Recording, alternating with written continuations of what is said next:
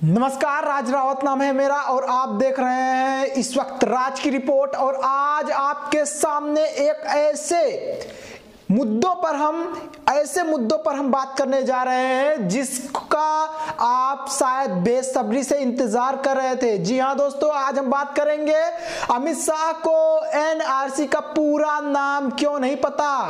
और आज अमित शाह गृह मंत्री जी एक्सपोज होने वाले हैं और आज आपको बताएँगे कि आखिरकार बीजेपी के लोग अपने ही मुद्दों को क्यों पढ़ते लिखते नहीं, आखिर अपने ही मुद्दों पर क्यों जानकारी एकत्रित नहीं करते, अपने ही चलाए गए नियमों पर, यानी कि अपने ही मुद्दों पर जो वो कानून ला रहे हैं, उसके बारे में आखिरकार उनको कैसे पता नहीं है, उसका फुल फॉर्म। जी हाँ दोस्तों, एनआरसी का फुल फॉर्म आखिरकार कैसे नहीं पता है? उस पर बात करेंगे और मुद्दा नंबर दो, आखिरकार कैसे अपनी ही बात पर पलट गए गृह मंत्री अमित शाह? इस मुद्दे पर भी बात करेंगे। और तीसरा मुद्दा, जो फर्जी देशभक्त घूमते फिरते हैं और दूसरों को जो विपक्षी पार्टियाँ हैं, जो विपक्षी पार्टियों के सपोर्टर हैं, उनको किस तरह से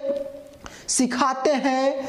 राष्ट्रहित। जी हाँ दोस्तों, किस तरह से उनको सिखाते हैं कि देशभक्त कैसे बना जाता है, उनको कभी कभार तो वो देशद्रोही भी कहते हैं, उन पर भी आज हम बात करेंगे और उनको भी हम एक्सपोज करने वाले हैं। और मुद्दा नंबर चार, सारा एनआरसी का रामायण खत्म हो चुका है लगभग। फिर भी प्रधानमंत्री मोदी जी को पता नहीं है कि एनआरसी भी आने वाला है देश में और उनकी ही पार्टी एनआरसी ला रही है और गृह मंत्री एनआरसी पर कई टीवी चैनल्स को, कई राष्ट्रीय चैनल्स को इंटरव्यू भी देते नज़र आ रहे हैं। तो चलिए मुद्दा नंबर एक पर बात करते हैं कि आखिर एनआरसी का पूरा नाम अमित शाह जी को कैसे नहीं पता है? दोस्तों, ऐसा कम ही होता है कि कोई गृह मंत्री कोई नियम और कानून ला रहा हो और उसके बारे में उसको ना पता हो। हाँ मानते हैं कि उसके बारे में थोड़ा बहुत जानकारी तो होगा। होगा अमित शाह को। लेकिन उसके बारे में देखा जाए तो मेन जानकारी तो है ही नहीं उनको। जी हाँ दोस्तों एनआरसी आने वाला है। एनआरसी को ये लोग लाने वाले हैं, लेकिन एनआरसी का पूरा नाम अमित शाह जी को नहीं पता। पहले आप ये वीडियो देखिए। इसका नाम ही national citizen register of citizen तो देखा आपने कि एनआरसी मतलब नेशनल रजिस्ट्रेशन सिटीजनशिप, इसका पूरा नाम होता है और वो किस तरह से उनका ज़ुबान लड़खड़ा गया, शायद उनको याद नहीं है इसी वजह से। कभी कभी इंसान को याद नहीं होता या फिर पता नहीं होता, तभी वो इस तरह से अपना जो उसका ज़ुबान होता है, पलट जाता है। इसी तरह से उसका जो निकलने वाला कुछ दूसरा शब्द होता है, निकलने वाला जो सही शब्द होता है, उस सही शब्द के स्थान पर कोई दूसरा शब्द निकल जाता है दोस्तों। और चलिए दूसरे मुद्दे पर हम बात कर लेते हैं। और आखिर हमारे गृह मंत्री अमित शाह क्यों अपने ही बोले हुए स्टेटमेंट पर पलट गए। जी हाँ दोस्तों, क्योंकि जो अभी तक वो बोल रहे थे, उनका कहना ये था कि हम सिर्फ़ और सिर्फ़ मुस्लिमों को, जो विदेशी मुस्लिम हैं, उनको ही इस देश से भगाएँगे और अन्य धर्मों का उन्होंने नाम नहीं लिया था। और उनका कहना यह था कि हम जो मुस्लिम हैं मतलब मतलब जो सिख, ईसाई, बुद्धिस्ट, जैनी और हिंदू हैं, इन लोगों को नागरिकता घर घर जाकर देंगे, लेकिन उस वक्त उन्होंने मुस्लिमों का नाम नहीं लिया था। लेकिन, अब ये आप जान लीजिए दोस्तों कि एनआरसी के तहत जो नया भाषण आया है उनका, उनमें उनका कुछ नया बदलाव आया है। जैसे कोई इंसान कहता नहीं कि वो तो पुराना बात था, अब नया बात में कुछ नया जोड़ दिया जाए। तो पहले प्रधानमंत्री जी का, सॉरी गृह मंत्री जी का नया भाषण सुनिए सुनिए। पहले मैं स्पष्टता कर दूँ, एनआरसी में कोई धर्म के आधार पर कोई कार्यवाही नहीं होनी। जो कोई भी एनआरसी के तहत इस देश का सिटीजन नहीं पाया जाएगा, सबको निकाला जाएगा। एक बात। तो इसमें सिर्फ़ मुसलमानों के लिए एनआरसी है ये कहने की बात मेरे हिसाब से गलत होगी तो देखा आपने, नए भाषण में वो कह रहे हैं कि हम धर्म के आधार पर किसी के साथ नहीं इंसाफ करेंगे, धर्म को देखते हुए नहीं इंसाफ करेंगे। उनका कहना यह है कि एनआरसी के तहत जो भी इस देश के नागरिक नहीं पाए गए, उनको सीधा डिटेंशन सेंटर में डाल दिया जाएगा। ये जान लीजिए। लेकिन पहले भाषण में, पहले अभिवादन में वो क्या बोले थे, ये भी सुन लीजिए। तो जो सारे हिंदू, बुद्ध, जैन, सिख, क्रिश्चियन है, उनको तो नागरिकता ही मिल जाएगी। एनआरसी का कहाँ सवाल है? हम सामने चलकर नागरिकता देने चाहते हैं उनको। और इसमें कोई दस्तावेज़ की ज़रूरत। तो देखा आपने कि उनका कहना यह है कि जो हिंदू, क्रिश्चियन, बुद्धिस्ट, जैनी, इन धर्मों के लोग होंगे, भारत के, उनको हम घर घर जाकर, भारत के हों, चाहे विदेश के, उनको घर घर जाकर हम नागरिकता देंगे। लेकिन उनमें उन्होंने मुस्लिमों का नाम नहीं लिया था। लेकिन अब जो है, वो सभी का नाम ले रहे हैं और सभी को कह रहे हैं कि इन सभी को हम बाहर का रास्ता दिखा देंगे अगर वो एनआरसी के तहत इस देश के नागरिक नहीं पाए गए। और चलिए बात कर लेते हैं दोस्तों, अक्सर आप उन फर्जी देशभक्तों से शायद परेशान होंगे।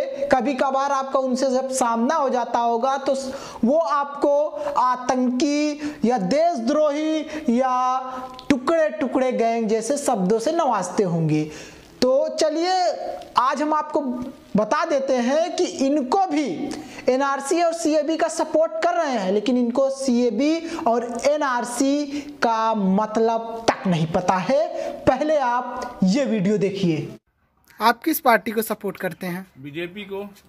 तो बीजेपी को सपोर्ट करते हैं इस वक्त सीएबी और एनआरसी पर। बीजेपी काफ़ी ज़्यादा एक्सपोज हो रही है काफ़ी ज़्यादा लोग विरोध कर रहे हैं। तो आप सीएबी और एनआरसी के बारे में क्या जानते हैं? सी बी सीबीएनआरसी के बारे में ये जानते हैं कि हमारे भारत में रहने वाले जितने मुस्लिम हैं इनका मतलब इनको सीधा पाकिस्तान भेजा जाए और जो है इनको कहने का मतलब कि यहाँ अगर रहना है तो चौदह साल का नागरिकता देना पड़ेगा इनको। अच्छा सीएबी और एनआरसी का पूरा नाम सीएबी का पूरा नाम बताइए अच्छा आप।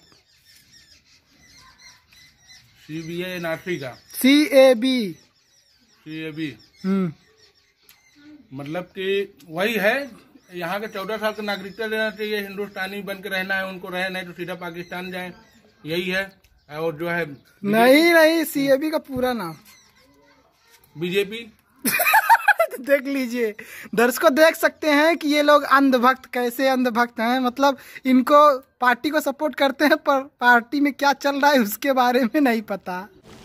तो देखा आपने कि किस तरह से रिपोर्टर्स के जवाब पर, रिपोर्टर के जवाब पर किस तरह से जो देशभक्त थे, सपोर्टर थे बीजेपी के, वो किस तरह से गोल मटोल जवाब दे रहे थे और सीएबी, यानी कि एनआरसी को वो मैंने जब, यानी कि उस वक्त रिपोर्टर ने जब पूछा कि आखिर एनआरसी का पूरा नाम क्या है तो एनआरसी का पूरा नाम वो बीजेपी बता रहा था। सोचिए कितनी घटिया विडंबना है इन फर्जी देशभक्तों के साथ। सोच सकते हैं, इन देशभक्तों का यही हाल है, उनको एनआरसी का मालूम नहीं है फुल फॉर्म, और एनआरसी को वो बीजेपी, एनआरसी का मतलब बीजेपी का फुल फॉर्म बता रहे हैं। सोचिए कितना घटिया ये बात है।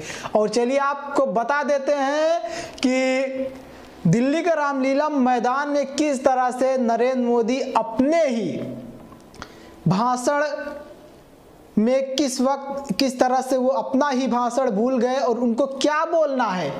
उनके ज़ुबान से वो नहीं निकल रहा था और उनके ज़ुबान से कुछ ऐसा निकला जो विरोध कर रहा था गृह मंत्री अमित शाह का।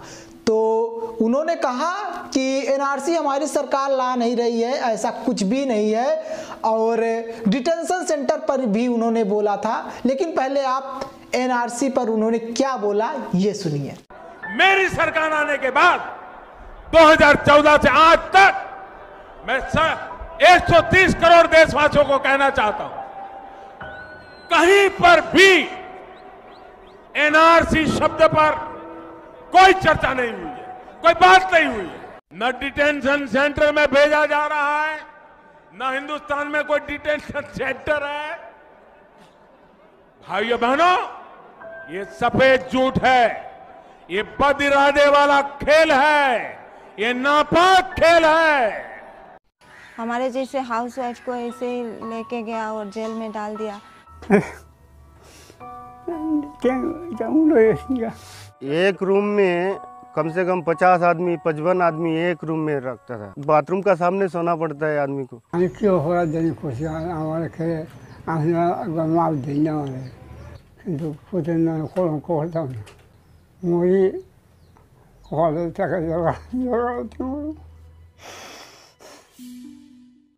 तो देखा आपने कि किस तरह से एनआरसी पर वो बोल रहे हैं कि एनआरसी कांग्रेस के समय से था और हमारी सरकार अभी जब से आई है, एनआरसी पर कुछ भी बात नहीं हुआ है, कोई भी चर्चा नहीं हुई है हमारी सरकार में एनआरसी पर।